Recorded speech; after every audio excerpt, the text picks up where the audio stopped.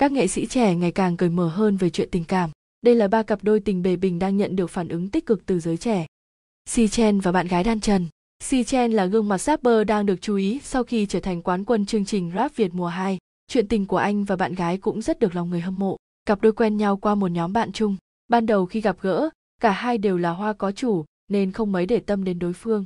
Tuy nhiên sau đó một năm, khi họ đều độc thân, đã quyết định làm bạn, trò chuyện nhiều hơn và dần dần lửa gần rơm lâu ngày cũng bén.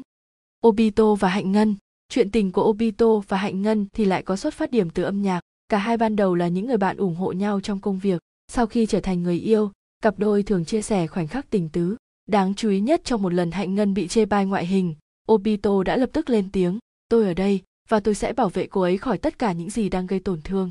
Người yêu tôi xinh và giỏi, tôi yêu cô gái của tôi. Logi và Dương Phin, đây là cặp đôi không chỉ đồng hành với nhau trong đời tư mà còn trong công việc khi Dương Phin là bạn gái kiêm quản lý của anh chàng.